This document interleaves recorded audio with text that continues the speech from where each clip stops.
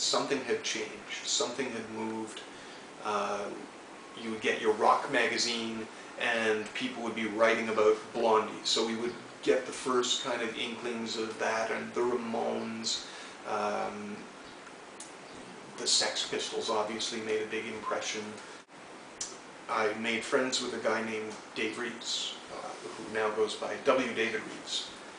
And he was half German on his mother's side and British on his father's side, one of those weird post-war marriages.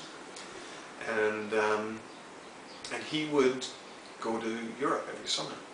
And he would spend part of his summer in England and part of his summer in Germany, and then he would come back. And he came back with things like Kraftwerk, and he came back with stuff like Gen X and the, the early punk bands out of, uh, out of London. And we would then sit in his, in his mom's rec room and smoke oil until we were nearly blind stoned and listen to all of these bizarre things that didn't make sense, that weren't culturally normative.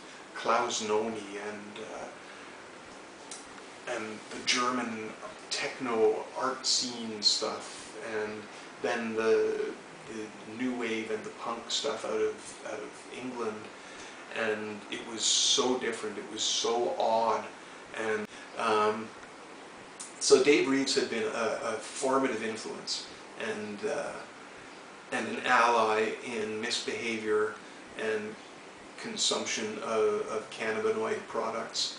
Um, and a brilliant, brilliant artist in his own right. And together we started out doing Neil Mortra because, oh my God, that was pretentious.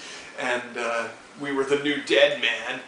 Um, and Neil Mortra's mission uh, was to to do soundtracks for German silent expressionist films that we had never even fucking seen. But they had awesome titles like Die Strasse, Narcos, and so we did all of, all of that kind of stuff. Um, and so it was pretty, pretty peculiar, pretty interesting stuff.